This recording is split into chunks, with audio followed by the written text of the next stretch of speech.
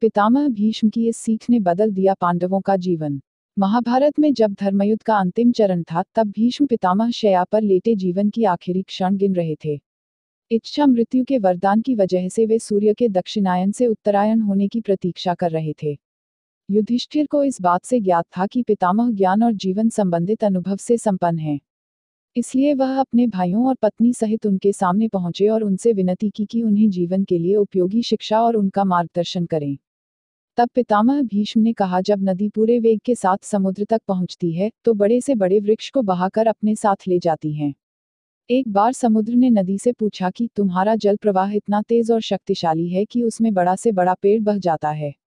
लेकिन ऐसा क्या कारण है कि छोटी घास कोमल बेल और नम्र पौधों को बहाकर नहीं ला पाती?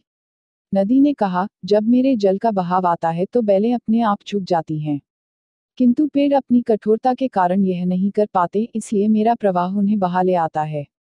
इससे हमें यह पता चलता है कि जीवन में विनम्र रहने से व्यक्ति का अस्तित्व बना रहता है। सभी पांडवों ने इस उपदेश को अपने अपने जीवन में उतारा और सुखी हुए। कैसी लगी आपको हमारी ये वीडियो ज़रूर बताएँ और आगे भी ऐसी वीडियो सबसे पहले प्राप्त करने के लिए अभी सब्सक्राइब करें।